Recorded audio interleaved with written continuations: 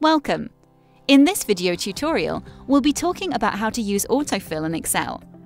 You can use the autofill function to fill in a series of data automatically in a very convenient way, saving yourself a great deal of time. Here's the how.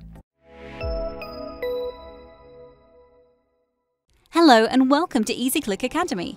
My name's Maria, and together with our EasyClick team, we're here to make sure you'll be able to use Excel in a quick and easy way thanks to our digestible video tutorials. If you need to populate a table with data series, the autofill function in Excel is an invaluable help. You can use this feature with any kind of data, particularly numbers, which are most commonly used to create a series. Let's say we want to create a series of numbers from 1 to 13 here. To do that, follow these steps.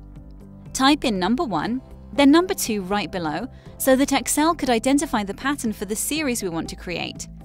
Select these two cells and drag the bottom right-hand corner of the selected area down. This way, you can create as long a series as you need. The most common problem you may encounter is that you fill in only one number, for example, number 1. When you drag the corner of this cell, Excel will not create a series, but only copy the number 1 to all cells you select. But it's never too late to fix this. If you want to turn this column of ones into a number series, you don't need to delete anything.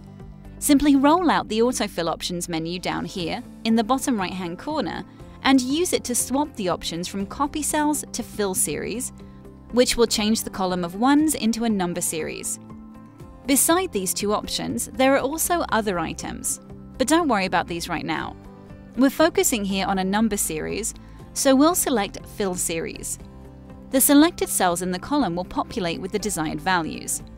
Such series can be created vertically as well as horizontally. But that's not everything Excel can do with autofill. You can create all the types of series you need. For example, if you want to use the series of even numbers only, we must type in 2 and 4 to start the series, and then we can autofill the rest. But that's not all.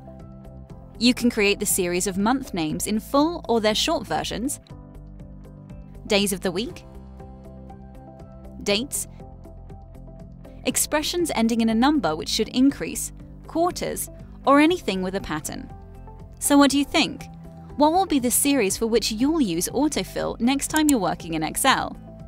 Share your ideas in the comment section below and let us know what other series could be created with the autofill function.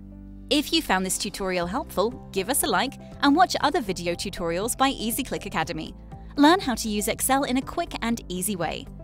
Is this your first time on EasyClick? We'll be more than happy to welcome you in our online community. Hit that subscribe button and join the Easy Clickers. Thanks for watching, and I'll see you in the next video.